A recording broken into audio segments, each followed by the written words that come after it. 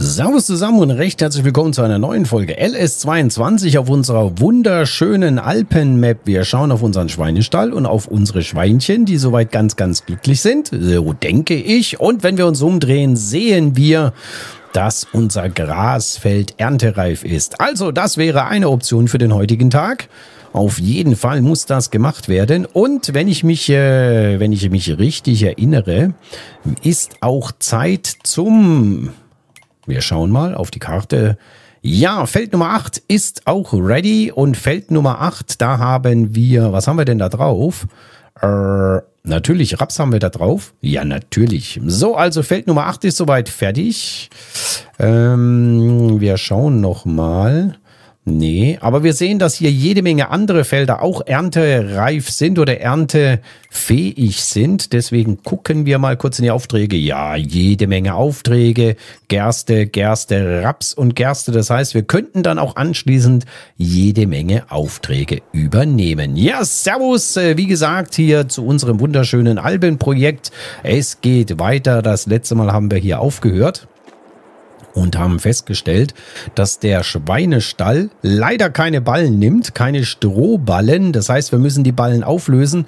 Entweder eben lose das Stroh hier einwerfen mit dem Ladewagen oder wir müssen uns Gedanken machen, dass wir einen Einstreuer uns kaufen. Nun ist nicht ganz so wichtig, denn spätestens im nächsten Monat haben wir Felder, wo wir dann Stroh bekommen und das werden wir dann mit dem Ladewagen einsammeln entsprechend. Okay, also legen wir los. Wir schauen mal ganz kurz in den Gebrauchtmarkt, Gebrauchtmaschinenmarkt, aber da haben wir leider, glaube ich, nichts Interessantes für uns. Nein, denn ich liebäugle, ihr wisst es, mit einem Warrior, mit einem Deutz Warrior. Das wäre ein, adäqu ein adäquates Fahrzeug für diese Map, denke ich mir. So, also, dann würde ich doch sagen, wir schnappen auf jeden Fall mal unseren Drescher, bringen den schon mal rüber zum Rapsfeld.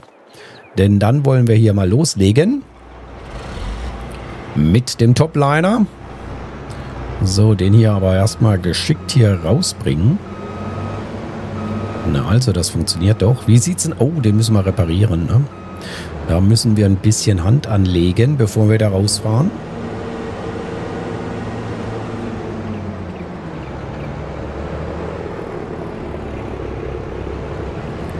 So, da müssen wir ein bisschen was tun. Unseren Landmaschinenschlosser aufsuchen. Dass der hier mal kurz ein Schräubchen und vielleicht ein bisschen einfettet und ölt. Damit der Kollege dann wieder, bevor es losgeht aufs Feld, hier auch wirklich in einem Top-Zustand. Denn ist ja schließlich ein Topliner von Deutz Fahr. Okay. Wobei ich auch denke, dass das die letzte Saison sein wird, dass der Kollege uns äh, behilflich ist. Äh, reparieren für 2000 und paar zerdrückte. 2329. Denn äh, ich denke, wir werden dann langsam aber sicher auch aufgrund der Zahl der Felder, denn das Ding bringt ja nur, äh, sehe ich richtig, 15 km/h. Naja, also wie gesagt, das ist jetzt nicht der Burner. Und wenn wir natürlich die Felder haben, auch an anderen Stellen hier der Map, vielleicht auch irgendwo weiter oben, dann brauchen wir definitiv ein bisschen mehr PS. Und ein kleines bisschen mehr Arbeitsbreite würde ja auch nicht schaden. Okay, jetzt muss ich mal überlegen, wie machen wir das jetzt am geschicktesten? Wie machen wir das am geschicktesten? Ich würde sagen, wir fahren hier mal rückwärts rein und holen dann mit einem Schlepper. Yep. Hole mit einem Schlepper. Ja, es bietet sich eigentlich hier der Kollege an. Mhm. Weil wir werden dann anschließend ja das, äh, das Mähwerk, nicht das Schneidwerk. Das Schneidwerk holen wir jetzt, aber dann werden wir das Mähwerk befestigen hier an den Lamborghini und äh, dann unser kleines Grasfeld natürlich schon mal anfangen zu mähen. Und das Gras werden wir auch nicht ganz groß, äh, werden wir nochmal einsammeln mit dem Ladewagen. Also keine Ballen machen.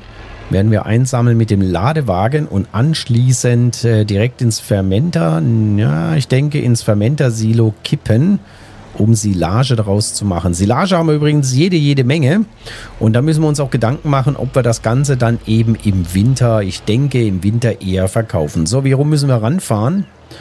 Äh, Ja, genau. Ähm, ja, dann fahren wir so rum und wenden. So.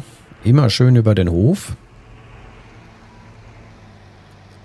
Mittlerweile haben wir ja auch einen Miststreuer uns zugelegt, damit wir dann den ganzen Mist, den wir hier mittlerweile produzieren mit unseren Tieren, dass wir den natürlich dann auch mal verarbeitet bekommen zum Düngen. Ich sage immer so gerne zum Andüngen. So. Äh, ich überlege gerade, lassen wir den hier stehen? Ich denke, den bringen wir wieder weg, oder? So, komm ran.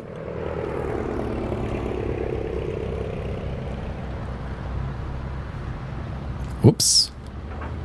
Upsi. So, oh, der Tank ist auch nicht mehr so voll, aber ich denke, das sollte reichen für dieses eine Feld. Hoffe ich doch. So, dann hier rum. Jetzt müssen wir mal schauen, wie wir hier am geschicktesten aufs Feld kommen. Sollen wir hier querfeld ein und einfach mal eine Bahn hochfahren? Ich denke, das müsste doch gehen, oder?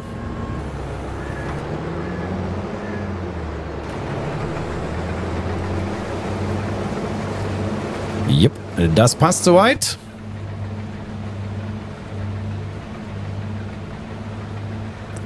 Ja, die Steigung kann er noch gut nehmen, das ist kein Problem.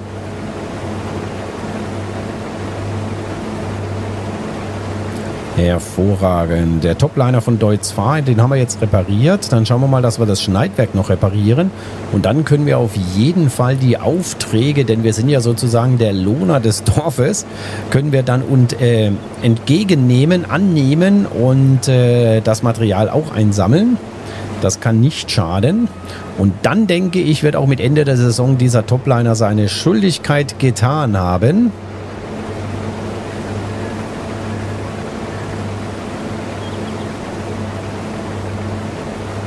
Aber wenn wir eben die größeren Strecken hier auf dieser Map zurücklegen wollen, ja, dann ist er halt mit, ja gut, jetzt zeigt er 20 an. Hat er gerade eben nicht 15 angezeigt? Hm. Also Maximalgeschwindigkeit ist eben, oder ich sag mal Marschgeschwindigkeit ist ja in dem Fall 20. Das ist nicht gerade besonders schnell.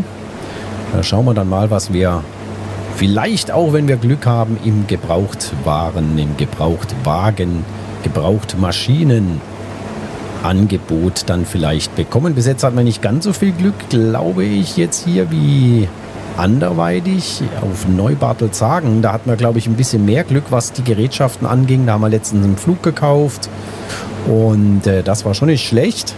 Einen großen Flug, sechs Meter. Sowas werden wir hier nicht brauchen, war übrigens auch hier im Shop im Angebot. Aber das werden wir hier auf dieser Map definitiv nicht brauchen. Aber ich habe ja auch Pflügen eingeschaltet und bis jetzt hat er überhaupt noch nie hier angeboten, dass gepflügt werden müsste. Und normalerweise, glaube ich, ist es doch so, alle drei Ernten muss gepflügt werden. Aber wir werden sehen, hier drüben haben wir Mais. Mais wird dann auch noch geerntet dieses Jahr und dann schauen wir mal, ob er dann uns anzeigt, dass gepflügt werden muss. So, wir sind bei 34 Prozent.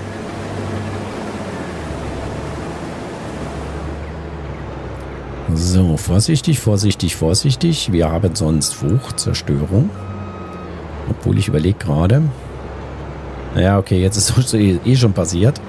Wir fahren jetzt doch noch einmal hier so rum. Okay.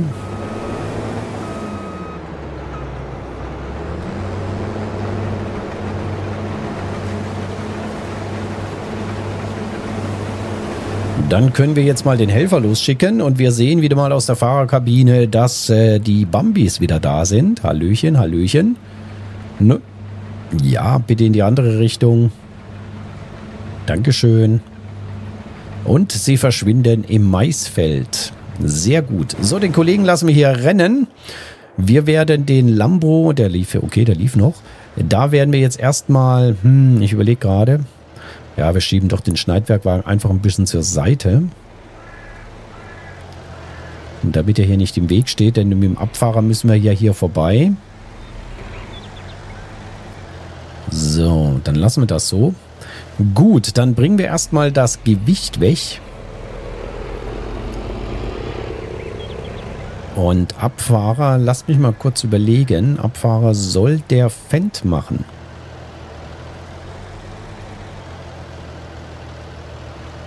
So, Gewicht, zack, weg. Jetzt überlege ich gerade, wo steht denn unser Mähwerk? Ich glaube in der Halle, oder? Da gehört es auch hin. So, auch hier müssen wir mal einen Blick werfen auf die Wartung. Das geht noch. Da können wir auf jeden Fall noch den entsprechenden... Nee, da steht es gar nicht. Äh, wo es denn? Ach, haben wir bestimmt in die andere Halle, in die neue gelegt.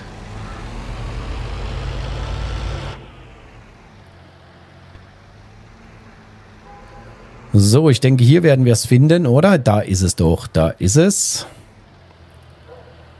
So, erstmal hinten.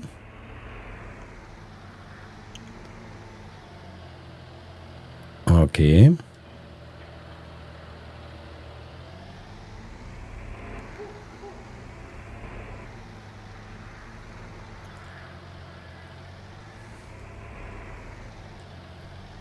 So, zum Glück haben wir ja genügend Platz zum Wenden.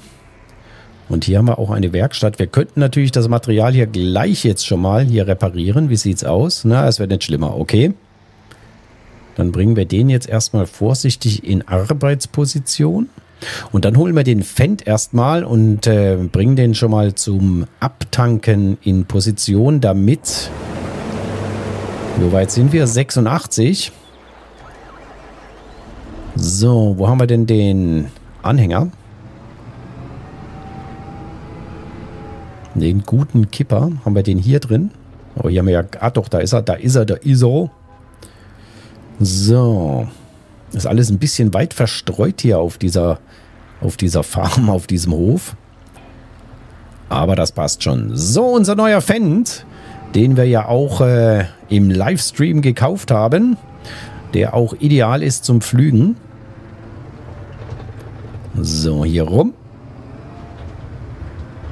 Und immer aufpassen, dass da der Schneidwerkwagen steht. So, die Tiere sind wieder hier auf der Straße unterwegs und wir kriegen die Meldung von unserem Helfer, dass der Korntagen jetzt schon zu 80% voll ist. Und äh, ja, genau, er macht die Wände. Das heißt, dann können wir den gleich hier mal on the fly abtanken. So, was ist denn los? Ja, kommt, rennt, lauft, lauft, lauft. Sehr schön. Ja, aber nicht wieder in selbstmörderischer Absicht in den Drescher hier rennen, ne? Eieieiei. Und da verschwinden sie im Getreidefeld beziehungsweise im Rapsfeld. So, dann gehen wir mal hier runter zum Abtanken.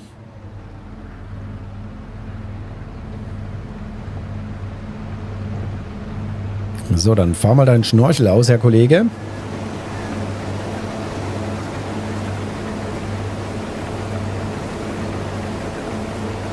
Ja, dann müssen wir mal schauen, ob wir dann Material davon hier unseren Schweinchen gleich zukommen lassen oder ob wir das erstmal ins Silo kippen.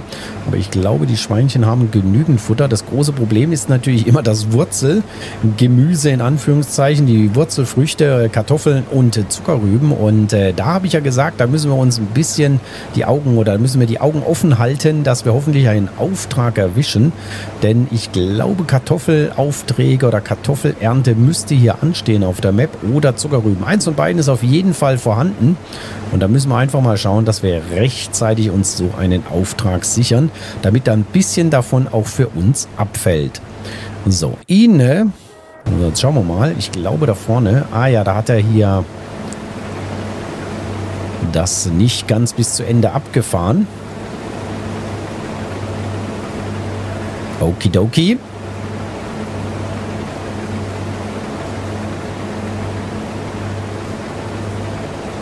So, da werden wir den Kollegen ein kleines bisschen unterstützen, ihm etwas hier unter die Arme greifen.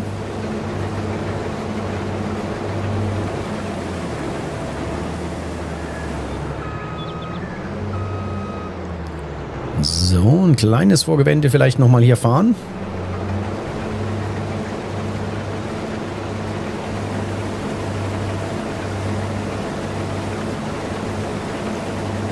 Dann lassen wir ihn einfach auf der unteren Bahn nochmal hin und her fahren. Gar kein Problem. Und dann bin ich, wie gesagt, gespannt, wie wir hier mit diesem Feld zurechtkommen, denn ähm, ihr wisst es, ihr wisst es, ihr wisst es. Ich muss es einfach jedes Mal ansprechen.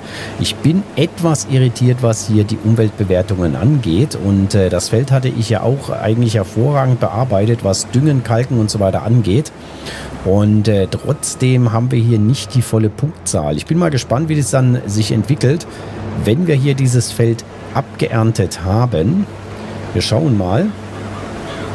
Ja, also der Ernteertrag sieht eigentlich sehr, sehr gut aus. Also ist ja alles sehr im grünen Bereich. Dann schauen wir jetzt mal, was uns hier Precision Farming sagt.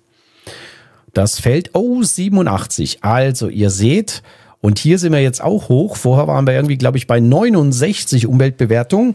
Jetzt äh, und bei 6 Prozent, jetzt haben wir zumindest mal die Verkaufspreise auf 7 Prozent hochgepimpt. Und wir sehen, dass jetzt dann auch zum Beispiel die Stickstoff, beim Stickstoff ist das Ganze jetzt doch deutlich nach oben gegangen. Unten bei Bodenbearbeitung ist der Balken immer noch leer. Okay, so, dieses Feld haben wir ja eigentlich auch gut hingekriegt. Und bei dem, da tut es mir auch noch ein bisschen weh, aber da müssen wir auch noch ein bisschen was tun, bevor wir hier aus die Aussaat gemacht haben. Auch hier, dieses Feld haben wir ja gekauft und ordentlich bearbeitet und interessanterweise bei Stickstoff ist das Feld leer und nur 60. Also ihr seht es, das ist alles ein bisschen interessant, was sich hier tut. Jetzt bin ich bei dem Feld gespannt, was sich hier verändert. Bodenproben, Unkrautbekämpfung ist ein Grasfeld. Hm, mal schauen. Also 78. Wir legen da einfach mal los hier mit unserem Lambo. Er ist ja auch immer noch angewiesen. Okay. Und äh, wir legen hier einfach mal los und dann bin ich mal gespannt, was er dann sagt. Okay, vorne mal ausklappen. Hinten bitte ausklappen. So, Schwartablage haben wir an. Dann werden wir vorne mal einschalten. Und hinten einschalten. Und dann fahren wir mal hier gleich mal links herum. So, und dann hier lang. Und dann werden wir das erstmal hier einmal von Hand abfahren.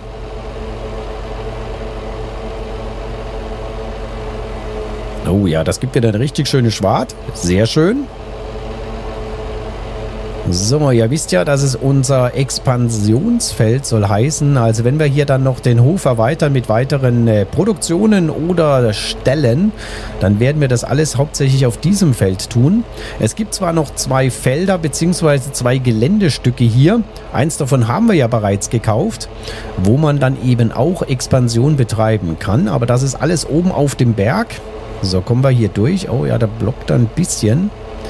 Äh, deswegen muss man sich da gut überlegen, wie wir da agieren. Aber ich hätte ja irgendwie Bock, da oben das Grundstück, also nicht da, wo wir jetzt schon sind, mit unserem, äh, mit unserer Forstwirtschaft, wo wir da schon alles vorbereitet haben, sondern es gibt ja noch auf der anderen Seite ein Grundstück am Berg.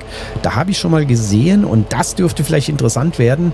So einen richtigen, schönen äh, Alpenbauernhof, so ein Bergbauernhof, auch mit einer Viehzucht.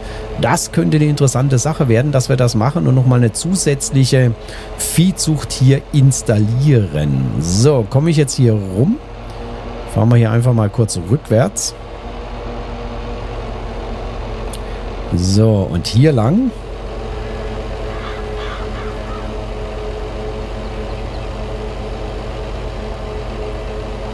So, da können wir großzügig fahren, da wir ja sowieso nochmal zurück müssen. Ja, das Feld ist dann relativ schnell gemäht.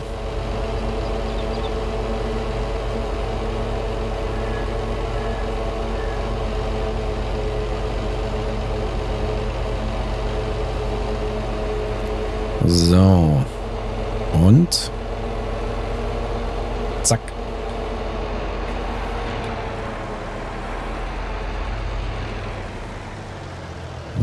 Dann noch einmal zurück und dann ist es auch schon gemäht. Vorne runter. Hinten runter.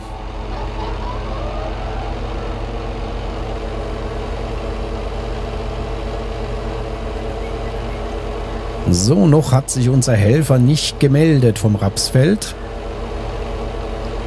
So, hier haben wir jetzt einen relativ guten Ertrag, so wie es aussieht.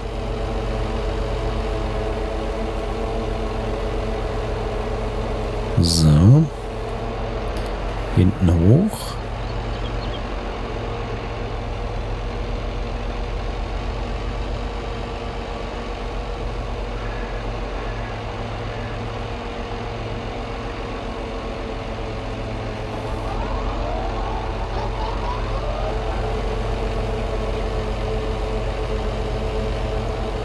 Jetzt haben wir da noch ein Zipfelchen.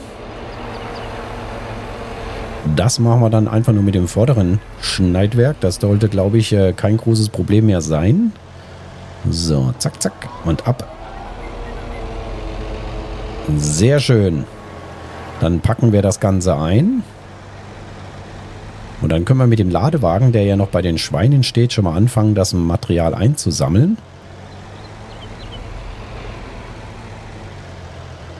So. Was macht denn unser 76? Ach, hm, was hat er denn da jetzt wieder gemacht? Eieieiei. Also diese Helfer, wenn man nicht immer ständig ein Auge auf die Jungs wirft. Lasst uns mal ganz kurz nochmal reinschauen hier. 76, also hier hat sich jetzt äh, nichts geändert. Unkrautbekämpfung logischerweise, das ist ja, weiß nicht, warum wir hier diesen Wert dann hochkriegen sollen. Nee, also da hat sich jetzt leider nichts geändert, aber hier hat sich ein bisschen was getan. Und wie gesagt, wir sind jetzt bei 7 anstatt 6 Prozent. Okay, das macht mir etwas Hoffnung. Wir holen unseren Abfahrer. Und dann werden wir hier nämlich schon mal abfahren. Wie der klingt, der Fendt, ne? So, dann werden wir nämlich hier schon mal abtanken und äh, dann können wir mit unserem Waltra und dem Ladewagen, dem kleinen Pöttinger, gehen wir dann mal los und sammeln das Gras ein.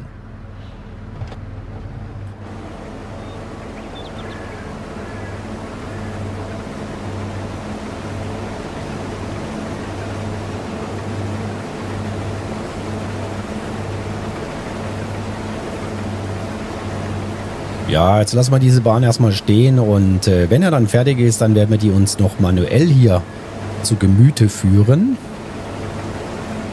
So, ist er jetzt sogar gleich voll oder wie sieht es da aus?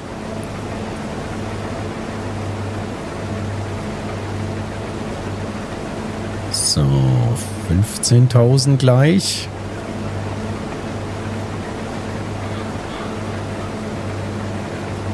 Ja, da würde ich doch sagen, dann bringen wir hier den Kollegen doch weg. Dann fahren wir hier noch mit bis zu Ende der Bahn.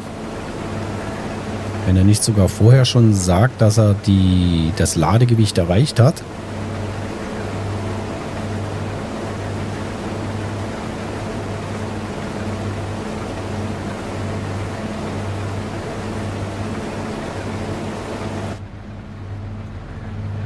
Jo, sehr gut.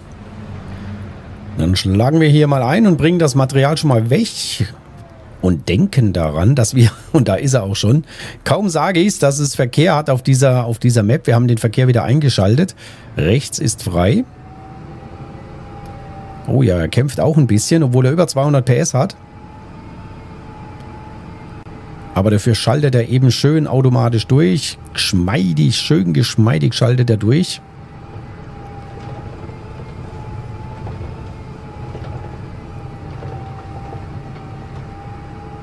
So, wir fahren nicht hinten rum, wir fahren durchs Dorf.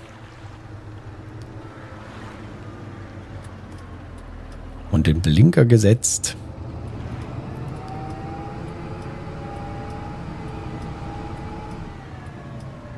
Oh, stopp.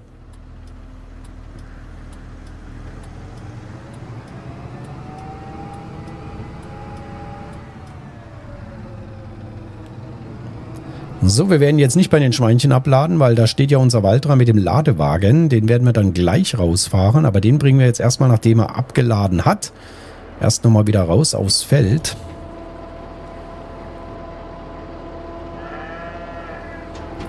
Sehr schön, sehr schön. So, da können wir mal kurz die Hilfe ausschalten. Und auf jeden Fall mal ein Thumbnail machen. Sehr gut.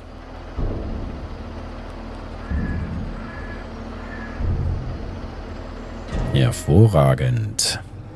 So, dann wieder raus aufs Feld. Bereitstehen, wenn unser Topliner sich meldet. So, hier muss man immer ein bisschen aufpassen, wenn man hier aufs Feld fährt, weil da ist irgendwo ein ziemlicher Huppel. Ja, ja, da merkt man es. Ne? Da müssen wir langsam runter. Okay. Sehr schön, das klappt hervorragend. Okay, dann lassen wir ihn hier mal ein bisschen arbeiten. Mit ihm geht es jetzt los, raus aufs Feld, aufs Grasfeld. Silage, Siliermittel ist drin. Und dann werden wir hier mal mit dem kleinen Pöttinger anfangen. So, okay. Sehr schön. Ja, da müssen wir weiträumig, glaube ich, fahren. Dass er das alles hier entsprechend aufnimmt.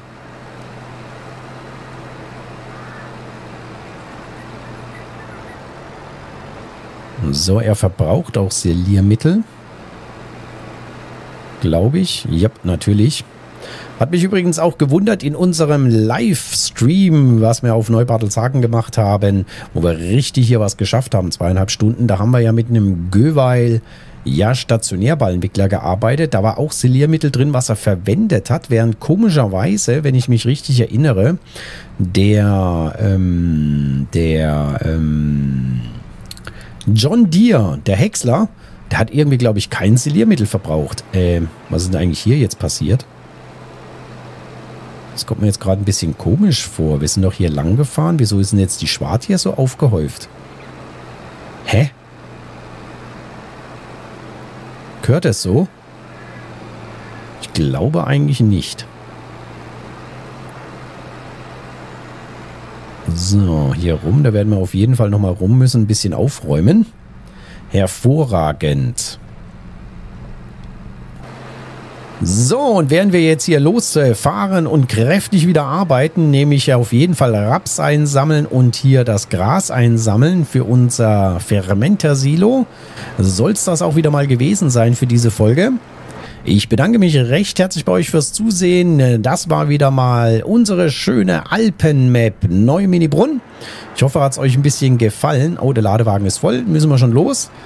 Wenn es euch gefallen hat, dann gerne bitte ein Abo für den Kanal. Das würde mir ein bisschen weiterhelfen. Ihr wisst ja, wie das Spielchen geht. Ansonsten natürlich freue ich mich auch über ein Däumchen oder die Kommentare, die ihr auch immer gerne schreibt. Das ist immer sehr, sehr schön. Also, ich bedanke mich recht herzlich bei euch fürs Zusehen. Hoffe, es hat euch wieder mal ein kleines bisschen gefallen und vielleicht war auch das ein oder andere Interessante für euch dabei. Ich sage Dankeschön, tschüss, ciao, cheerio, bis zum nächsten Mal.